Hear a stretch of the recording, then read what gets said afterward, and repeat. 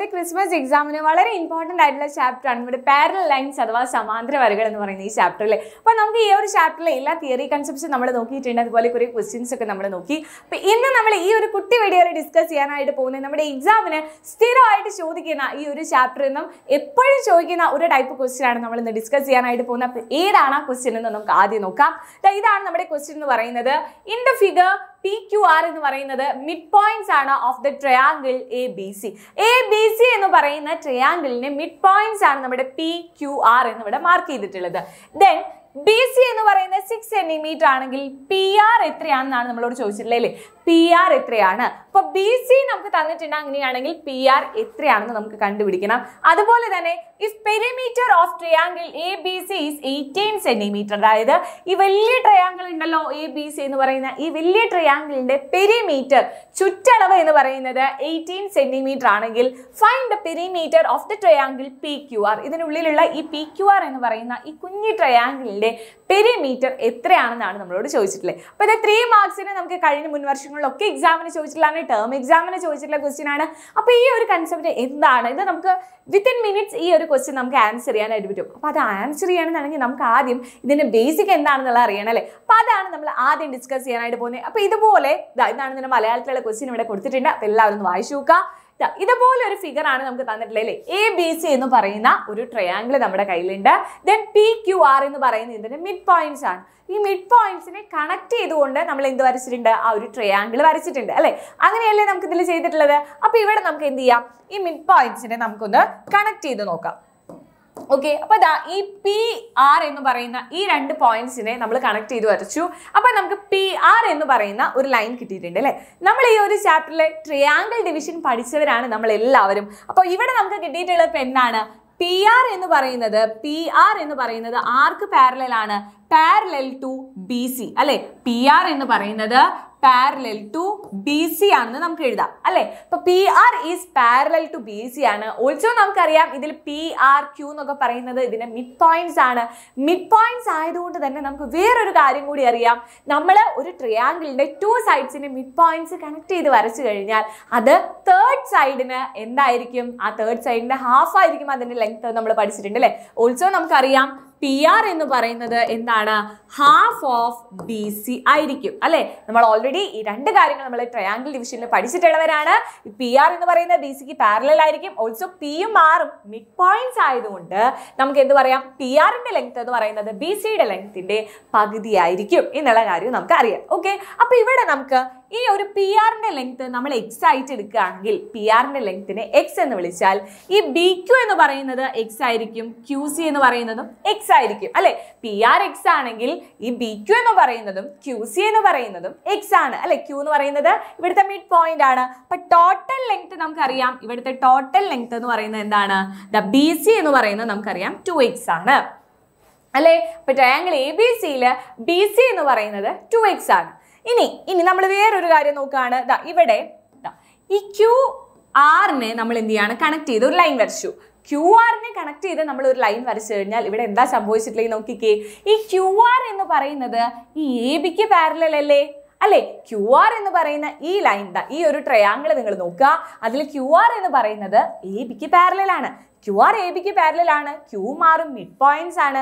So Q ആറിന്റെ length എന്ന് പറയുന്നത് എ ബിയുടെ ലെങ്ത്തിന്റെ എന്തായിരിക്കും? ഹാഫ് ആയിരിക്കും. ശരിയല്ലേ? അപ്പൊ ഇവിടെ നമുക്കറിയാം ക്യു ആർ എന്ന് പറയുന്നത് പാരലൽ ടു ആർക്ക് പാരലാണ് എ ബിക്ക് പാരലാണ് സോ ക്യു ആറിന്റെ ലെങ്ത് എന്ന് പറയുന്നത് ഹാഫ് ഓഫ് എ ബി ആണ്. ക്യു ആറിന്റെ ലെങ്ത് എന്ന് പറയുന്നത് ഹാഫ് ഓഫ് എ ബി ആണ്. അപ്പൊ നമുക്ക് ഇവിടെ എഴുതാം. ക്യു ആറിന്റെ ലെങ്ത് എന്ന് പറയുന്നത് ക്യു ആറിന്റെ ലെങ്ത് നമ്മൾ വൈ ആയിട്ട് എടുക്കുകയാണെങ്കിൽ ഇവിടെ നമുക്ക് വൈ ആയിരിക്കും ഇവിടെയും നമുക്ക് എന്തായിരിക്കും? വൈ ആയിരിക്കും കിട്ടുന്നത് അല്ലേ? അതായത് എ ബിയുടെ ടോട്ടൽ ലെങ്ത് നമുക്ക് കിട്ടുന്നത് എത്രയായിരിക്കും?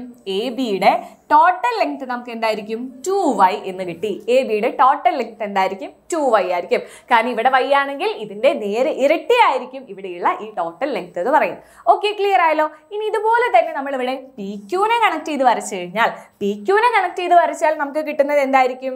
പി ക്യൂനെ കണക്ട് ചെയ്ത് കഴിഞ്ഞാൽ നമുക്കറിയാം P Q is parallel to A C P Q എന്ന് പറയുന്നത് പാരലൽ ടു എ സി ആണ്. ഓൾസോ പി ക്യൂവിന്റെ ലെങ്ത് എന്ന് പറയുന്നത് ഹാഫ് ഓഫ് എ സി ആയിരിക്കും. ഹാഫ് ഓഫ് എന്തായിരിക്കും? എ സി ആയിരിക്കും. അപ്പൊ നമ്മൾ പി ക്യൂവിന്റെ ലെങ്ത്തിനെ പി ക്യൂവിന്റെ ലെങ്ത്തിനെ നമ്മൾ എടുക്കുകയാണ്. പി ക്യൂ എന്ന് പറയുന്നത് സെഡ് ആയിട്ട് എടുക്കുകയാണെങ്കിൽ ഇവിടെയും സെഡ് ആയിരിക്കും ഇവിടെയും സെഡ് ആയിരിക്കും. ദാറ്റ് ഈസ് ആ ടോട്ടൽ ലെങ്ത് എന്ന് പറയുന്നത് എന്തായിരിക്കും? ടു സെഡ് ആയിരിക്കും. ടോട്ടൽ ലെങ്ത് ടു സെഡ് ആയിരിക്കും. അപ്പൊ നമുക്ക് എത്ര ട്രയാങ്കിൾസ് കിട്ടിയിട്ടുണ്ട് നോക്കിക്കേ. X Y Z X Y Z X Y Z ഇവിടെ എന്താണ് എക്സ് വൈ സെഡ് നാല് ട്രയാങ്കിൾസ് നമുക്ക് കിട്ടിയിട്ടുണ്ട്. ഓൾസോ നമ്മൾ പഠിച്ചിട്ടുണ്ട് ഈ ഒരു ചാപ്റ്ററിൽ എന്താണ്? ഈ നാല് ട്രയാങ്കിൾസും ഈക്വൽ ട്രയാങ്കിൾസ് ആയിരിക്കും. അല്ലെ? ഈ നാല് കുഞ്ഞു ട്രയാങ്കിൾസും these four triangles are equal these four triangles ഈ നാല് ട്രയാങ്കിൾസും എന്തായിരിക്കും? നാല് ട്രയാങ്കിൾസും ഈക്വൽ ആണ്. ഓക്കെ അവരുടെ ഏരിയ ഈക്വൽ ആണ്. അവരുടെ പെരിമീറ്റർ ഈക്വൽ ആണ്. എല്ലാം ഈക്വൽ ആണ്. ഈ നാല് ട്രയാങ്കിൾസും എന്താണ്? ഈക്വൽ ആണ് എന്ന് നമുക്കറിയാം. ഓക്കെ അപ്പൊ അത്രയും കാര്യങ്ങൾ നമുക്ക് ഇങ്ങനെ ഒരു ഫിഗർ തന്നാൽ തന്നെ ഇത്രയും കാര്യങ്ങൾ നമുക്ക് എഴുതാനായിട്ട് അറിയാം. ദെൻ നമ്മൾ നോക്കേണ്ടത് നമുക്ക് തന്നിട്ടുള്ള എന്താ? എ ബി സി എന്ന് പറയുന്ന ഈ ട്രയാങ്കിളിന്റെ എന്ത് തന്നിട്ടുണ്ട്? പെരിമീറ്റർ തന്നിട്ടുണ്ട്. ഓക്കെ അപ്പൊ നമുക്കറിയാം ഈ ഒരു ഇതാ ഇനി നമ്മൾ ആവശ്യമുള്ള കാര്യം നമ്മൾ എടുത്തെഴുതാൻ പോവാണ്. ഈ ഒരു ട്രയാങ്കിൾ ഇത്രയും കാര്യങ്ങളൊക്കെ നമ്മൾ മനസ്സിലാക്കി. ഓക്കെ അല്ലേ? ഇനി നമുക്ക് എന്ത് ചെയ്യാം? ഈ ട്രയാങ്കിൾ നമുക്ക് ക്വസ്റ്റ്യനിൽ എന്തൊക്കെയാണ് ചോദിച്ചിട്ടുള്ളത്? അതനുസരിച്ച് നമുക്ക് ഇതൊന്ന് ഒരു ജനറൽ കൺക്ലൂഷനിലേക്ക് എത്താം. അങ്ങനെയാണെങ്കിൽ നമുക്കിത് ഈസി ആയിട്ട് ആൻസർ ചെയ്യാൻ പറ്റും. ഓക്കെ അപ്പൊ നമുക്ക് ഈ ട്രയാങ്കിളിൽ അതായത് നമ്മുടെ triangle A B C consider ചെയ്യാം. എ ബി സിയുടെ സൈഡ്സ് ഏതൊക്കെയാണ്? നമുക്കറിയാം എ ബി എന്ന് പറയുന്നത് ടു വൈ ആണ്. അതുപോലെ ബി സി എന്ന് പറയുന്നത് ടു എക്സ് ആണ്. ദെൻ എ സി എന്ന് പറയുന്നത് ടു സെഡ് ആണ്. ഓക്കെ അപ്പൊ ട്രയാങ്കിൾ എ ബി സിയുടെ സൈഡ്സ് ഒക്കെ നമുക്കറിയാം. ഈ ട്രയാങ്കിൾ എ ബി സിയുടെ പെരിമീറ്റർ എന്ന് പറയുന്നത് എന്തായിരിക്കും?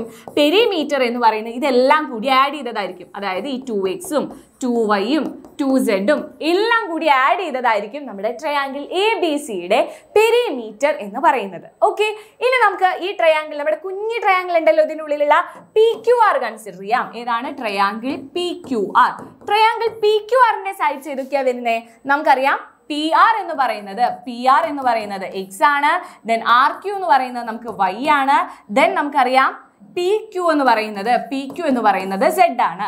അപ്പൊ ഇതിന്റെ പെരിമീറ്റർ എന്താ വരിക? ഇതിന്റെ പെരിമീറ്റർ എന്താ? ഈ ട്രയാങ്കിളിന്റെ പെരിമീറ്റർ പെരിമീറ്റർ എന്ന് പറയുന്നത് എന്തായിരിക്കും പെരിമീറ്റർ എന്ന് പറയുന്നത്?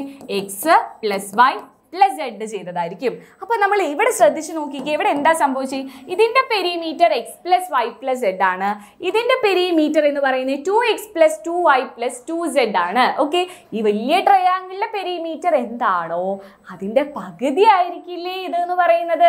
അല്ലെ? ഇവിടെ ഈ ഒരു ഈ ഒരു ട്രയാങ്കിളിന്റെ പെരിമീറ്ററിൽ നിന്നും നമ്മൾ ഇവിടെ ടൂനെ നമ്മൾ ഔട്ട് സൈഡ് എടുത്താൽ നമുക്ക് ഇവിടെ X plus Y plus Z എന്ന് എഴുതാം. അല്ലെ?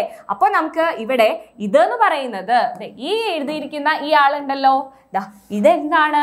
നമ്മുടെ ഈ കുട്ടി ട്രയാങ്കിൾ കുട്ടി ട്രയാങ്കിളിലെ പെരിമീറ്ററിനെ പി വൺ എന്ന് നമ്മൾ വിളിച്ചാൽ ഈ പി വൺ അല്ലേ ഇവിടെ വന്നിട്ടുള്ളത്?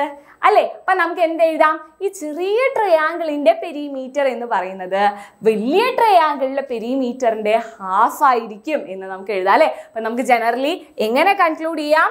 The perimeter of perimeter of perimeter perimeter of triangle A B C എന്ന് പറയുന്നത് is equal to two into അല്ലെങ്കിൽ നമുക്ക് എന്ത് എഴുതാം? നമുക്ക് ട്രയാങ്കിൾ പി ക്യു ആറിന്റെ പെരിമീറ്റർ എന്ന് പറയുന്നത് പി ക്യു ആറിന്റെ പെരിമീറ്റർ എന്ന് പറയുന്നത് it is the half of perimeter of half of perimeter of എന്താണ്? ട്രയാങ്കിൾ എ ബി സി ആണ്. എ ബി സി എന്ന് പറയുന്ന വലിയ ട്രയാങ്കിളിലെ പെരിമീറ്ററിന്റെ പകുതിയാണ് കുഞ്ഞു ട്രയാങ്കിളിന്റെ പെരിമീറ്റർ എന്ന് പറയുന്നത്. ഓക്കെ ഇത്രയും കാര്യം ക്ലിയർ ആണെങ്കിൽ ഇനി നമുക്ക് ഈസി ആയിട്ട് നമ്മുടെ ഈ ഒരു ക്വസ്റ്റ്യന്റെ ആൻസർ സിമ്പിൾ ആയിട്ട് എഴുതാവുന്നതേ ഉള്ളൂ. എന്താണ് ഇവിടെ വരിക? നിങ്ങളൊന്ന് ആലോചിച്ച് നോക്കിക്കേ. ബി സി സിക്സ് സെന്റിമീറ്റർ ആണെങ്കിൽ ഏതാണ് നമ്മുടെ ബി സി എന്ന് പറയുന്നത്?